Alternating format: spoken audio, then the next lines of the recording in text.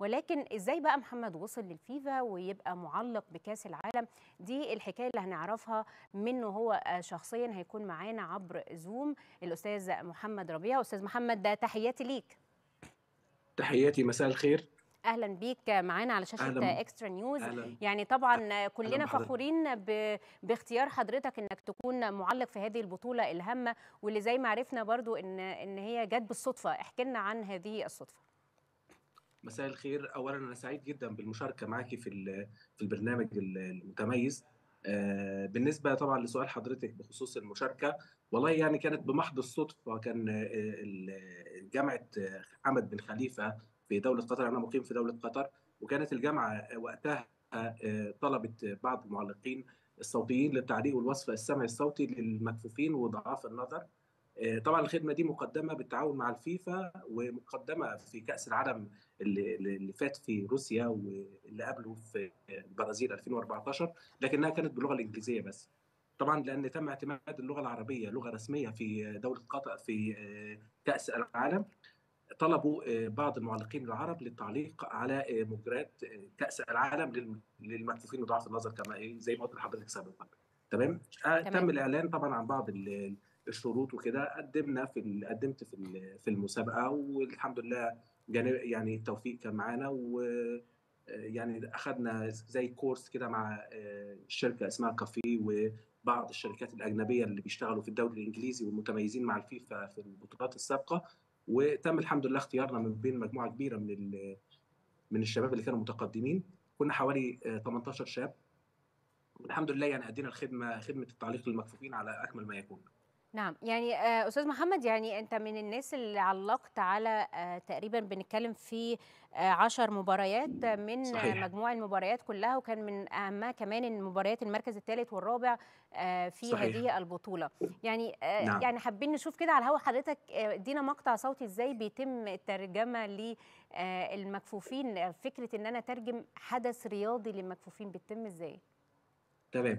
طيب اولا أنا يعني بس في فرق بسيط بين التعليق الرياضي العادي والتعليق الرياضي للمكفوفين طبعا التعليق الرياضي العادي آه، الجمهور بيشاهد الايه المباراة وبيقدر يطلع على تفاصيلها. لكن في التعليق الصوتي للمكفوفين وضعاف النظر طبعا أنت بت- بتاع بتاع بنبدأ التعليق للأشخاص اللي هم يعني لا يروا الصورة. فأنت عينهم على ال- ال- ال- اللي بيحصل في الملعب وأنت عينهم للوصف الصوتي للي بيحصل.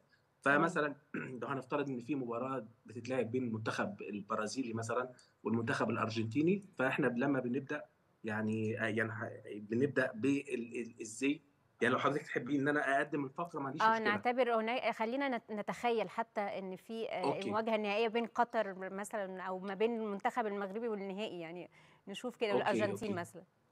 تمام. طيب. بسم الله الرحمن الرحيم سيداتي انساتي سادتي أسعد الله مساءكم بكل خير. أحييكم أنا محمد ربيع من استاد الثمامة بمدينة بمدينة الدوحة بدولة قطر ويسعدني أن أكون بصحبتكم الليلة للتعليق والوصف السمعي الصوتي للقاء القمة النارية المرتقبة بين المنتخب المغربي ونظيره الفرنسي في إطار منافسات كأس العالم دور النصف النهائي. في هذه البطولة. آه، طبعا المنتخب ال- المغربي بيرتدي الليلة الزي الأحمر التيشيرت الأحمر والشورت الأخضر والجوارب الخضراء. في حين المنتخب الفرنسي بيرتدي الزي التقليدي الأزرق التيشيرت الأزرق والشورت الأزرق وأيضا الجوارب الزرقاء. في حين حكام هذا اللقاء بقيادة الحاكم موريسو روتي الحكم الإيطالي بي- بيرتدي الليلة التيشيرت الأصفر والشورت الأسود والجوارب السوداء. ملعب الليلة ملعب الثمامة يتسع لأكثر من 40 ألف مشجع. نحن نعتلي المقصورة الرئيسية من الملعب وعلى يميننا آه، المدرج الجنوبي وعلى يسارنا المدرج الشمالي. آه، يرجى من آه، سيادتكم استخدام تذكرتك لمعرفة مكانك تحديدا. وسؤال المنسقين حول آه، في ملعب المباراة لمعرفة مكانك وهذا سيساعدك تحديدا لمتابعة الكرة بشكل أوضح. طبعا يعني هنتكلم مثلا المباراة بدأت و الكرة ضربة مرمى لصالح المنتخب المغربي في منطقة جزائهم. ياسين بونو بيلعبها على يمينه على بعد 12 ياردة من خط منطقة جزائه ناحية اليمين بجوار خط التماس. اتحطت بينية أمامية على دائرة خط المنتصف. يرجع للخلف منقول الكرة ناحية الشمال على بعد حوالي 18 ياردة من نص الملعب. تمام. أستاذ محمد يعني أنا هسألك سؤال يعني اتفضلي. إيه الفرق ما بين إن أنا بس أكني بسمع التعليق في في محطة راديو رياضية؟ يعني هل بيبقى تمام. في في نوع من الوصف الزائد عن الراديو ولا هو تقريبا واحد؟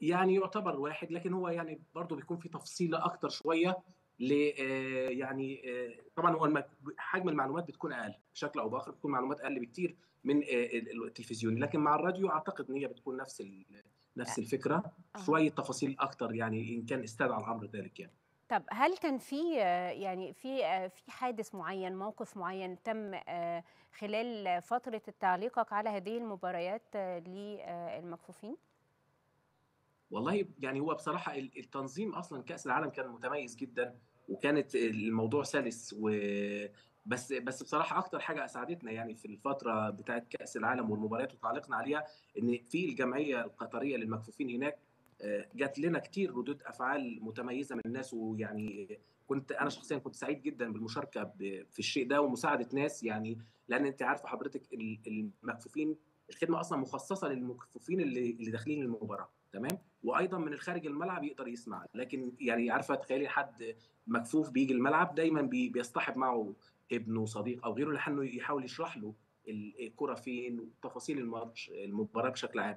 لكن إحنا الحمد لله يعني ربنا وفقنا ان قدمنا الخدمة بشكل جيد وأنا شخصيا جاتني ردود أفعال ممتازة الحمد لله. طب هل خدمة التعليق دي كانت متاحة بشكل عام على القناة بشكل عام؟ اللي يعني كانت مرافقة لي آه، آه، في قناة معينة بيتوجه ليها المكفوفين عشان يقدروا يسمعوا أو ولا على تطبيق معين كان لازم بيحملوه عشان نعم يتواصلوا؟ على على تطبيق آه، اسمه FIFA Interpreting ده التطبيق الترجمة الفورية التابع للفيفا. آه، بتنزله وكل ملعب من ملاعب المباريات ليه كود بتدخل الكود بتاع الملعب وبتستمع أصلا في باللغة العربية وفي بالإنجليزي. طب كنا هل ده معناه إن هيتم أو تم آه، اعتماد اللغة العربية من اللغات اللي هتكون موجودة دايما في آه؟ رسميا آه رسميا تم اعتماد اللغة العربية لغة رسمية في الفيفا. ويعني أعتقد ده طبعا يعني بالإضافة اللي حصل اللي عملناه في كأس العالم أعتقد ده مميزاته كتير في المستقبل. في موضوع الترجمة وموضوع المراسلات وغيره وغيره.